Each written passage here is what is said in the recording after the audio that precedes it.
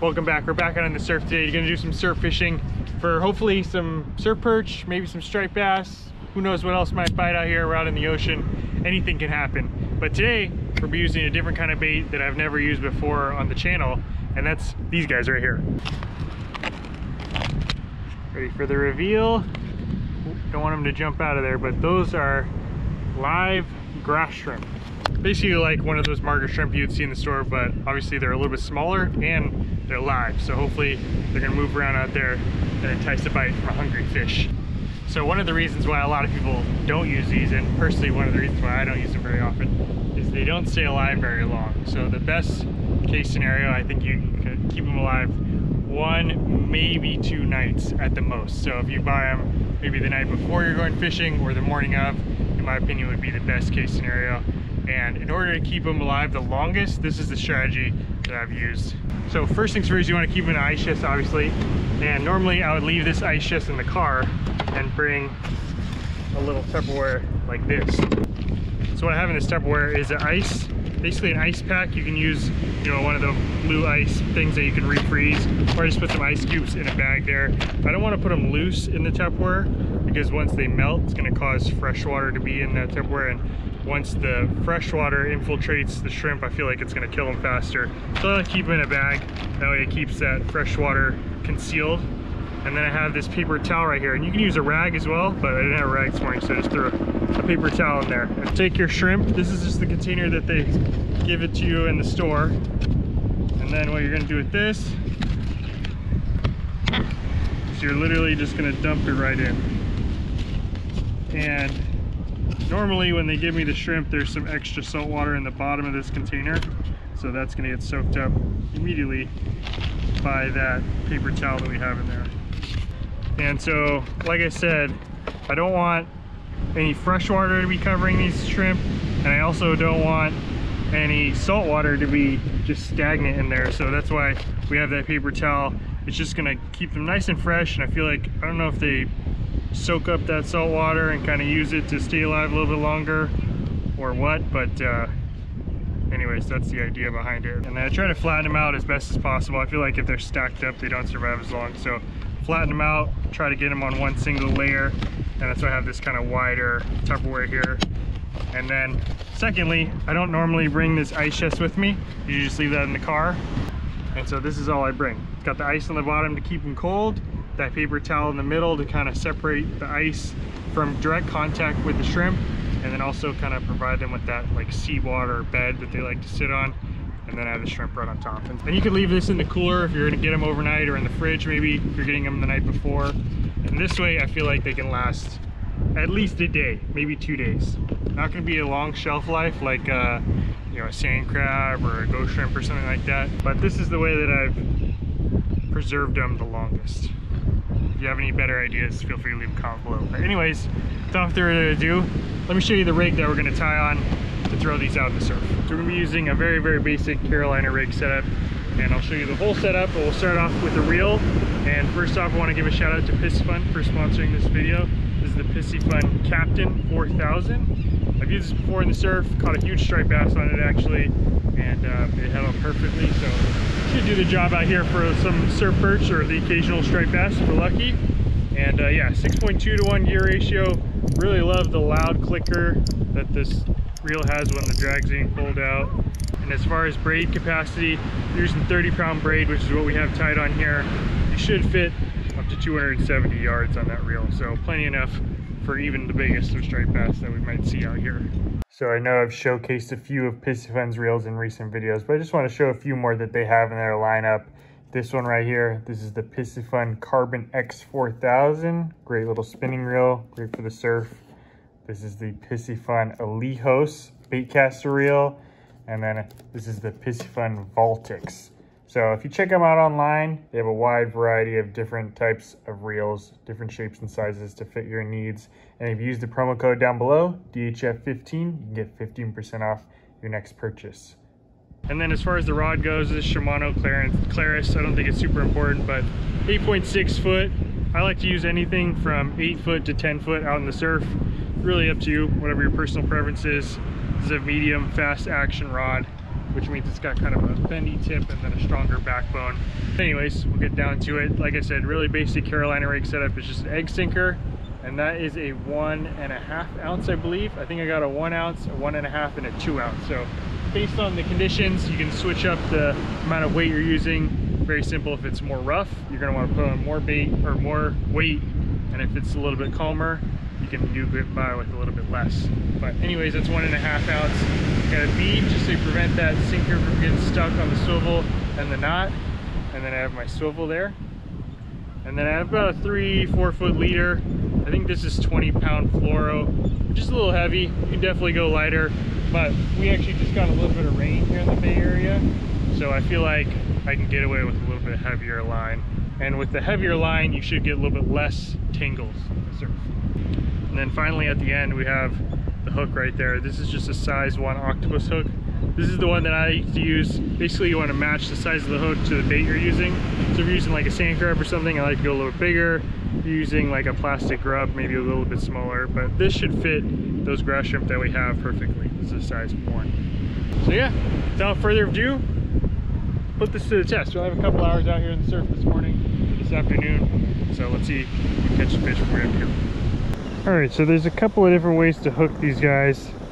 One, you could go from the tail and come up through the head like that. Or what I've seen people do is go right through the, right behind the head here. This is the way we'll start off with it. Go right through the head and kind of thread your hook down through the tail like that. So with this Carolina rig, basically that weight's gonna hit the bottom. It is not gonna stick in one spot, it's gonna roll around a little bit, but this bait should just swing around freely. And if it wants to swim a little bit, it can do that. And then hopefully the surf perch will pick it up while that's happening. Let's toss her in.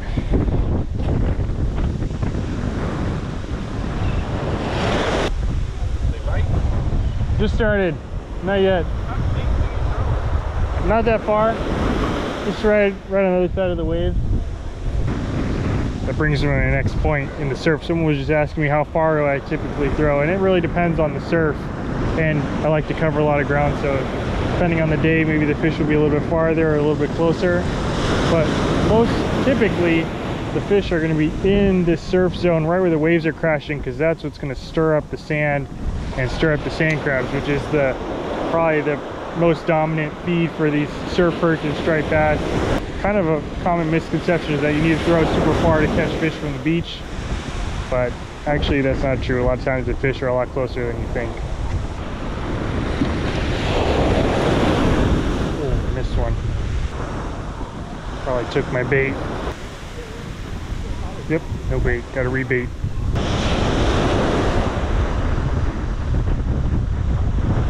There we go. Fish. Feels like a decent perch. Now, don't be afraid to go through a few baits. I mean, I've already missed quite a few fish.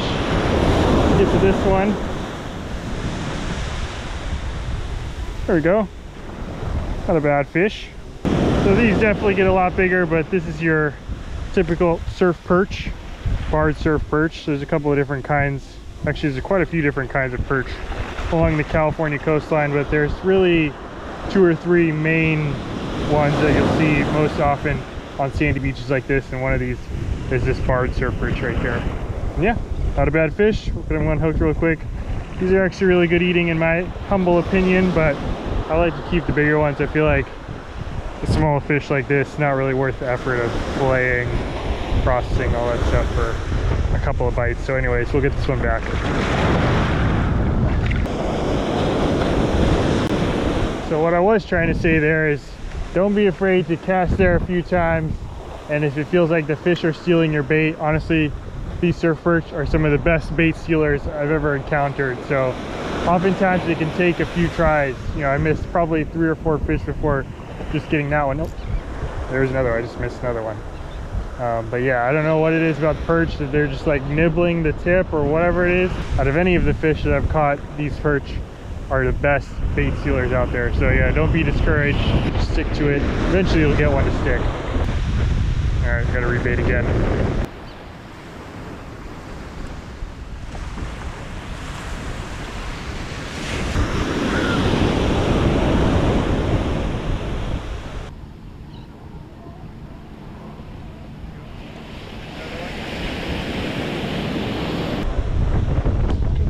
get him little guy.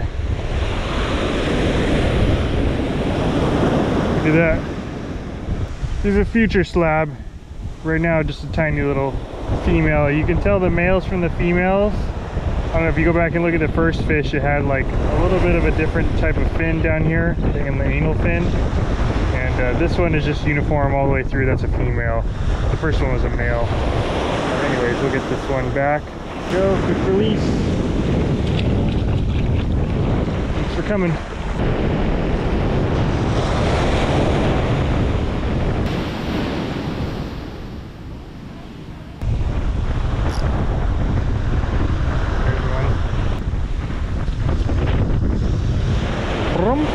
Number three.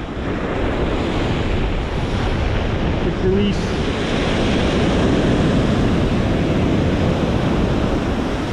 Not a bad one. Another female. There we go.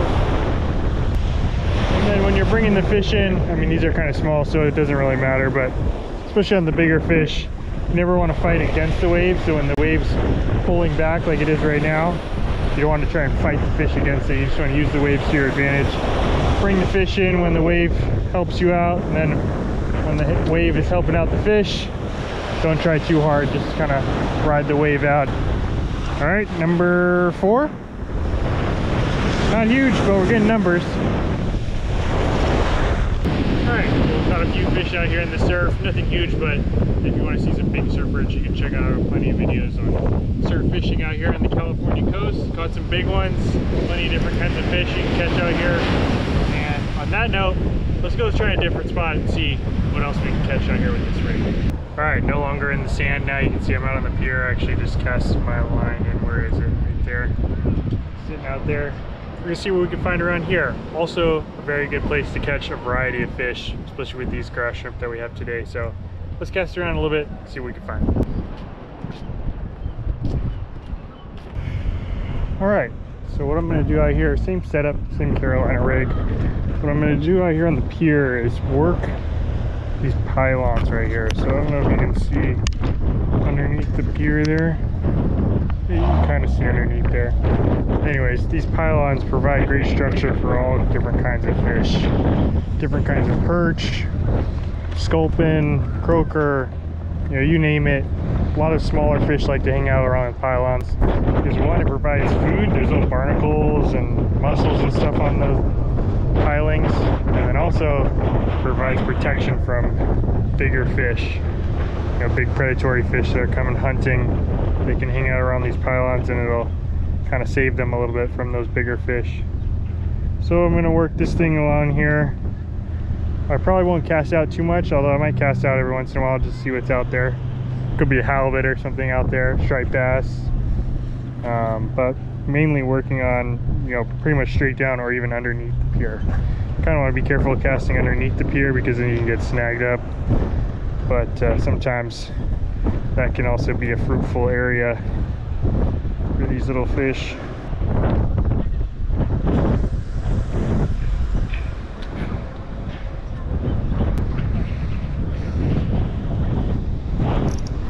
Here we go. Here's a fish. Alright, now I said I'm going to focus more underneath the pier, but this one came out a little bit. It's another type of surf perch. I'm actually not 100% sure which kind this is.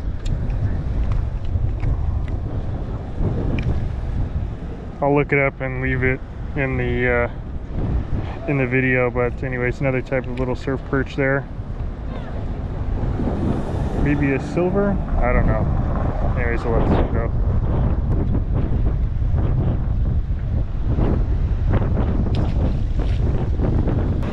All right try here trying a little shallower see what we can find in here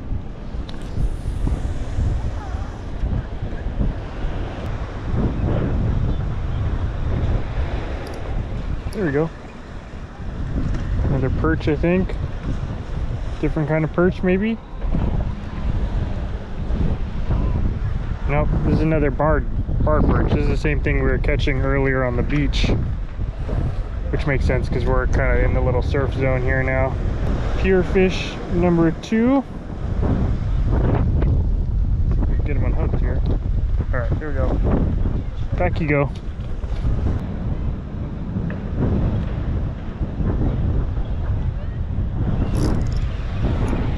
There's a little guy.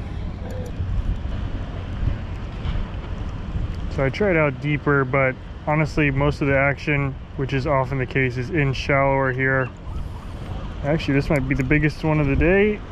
Mm, one on the beach might have been a little bigger, but that's another barred surfers. The biggest one I got on the pier, at least. Nice little specimen there. There we go. Quick release. Getting a little windy out here, so I'm ducking behind some cover. That's why it's a little shaded. But anyways, not a bad day out here. Only had a few hours to come out and fish. And honestly, the live shrimp is a very, you know, good overall bait. Seems like wherever you are, East Coast, West Coast, other countries, it's gonna be like if you can get a live shrimp in the water, there's a good chance that there's something out there that's gonna want to eat it. So it's very universal, very simple, easy to use. Just put it on a Carolina rig, drop it in, and see what happens. You know, a lot of times I've been fishing in places where I had no idea what the bait was. Even just a regular old shrimp from the store caught some fish. So definitely try it out. If you have any questions, feel free to leave a comment below. So if you're new to fishing or maybe you're trying a new spot, whether it be boat, shore, pier, surf, jetty, wherever it is, tying a live shrimp, I think there's a good chance that you might have some good luck. So anyways, I know we didn't catch any big ones in this one. I'll leave a couple of videos of my favorites out in the surf of some big perch, striped bass, or even the pier. I think I have another pier video on my channel that I'll leave in the description. Check those videos out if you want to see a little more of what you can catch out here. But anyways, thank you all for watching. See you on the next one.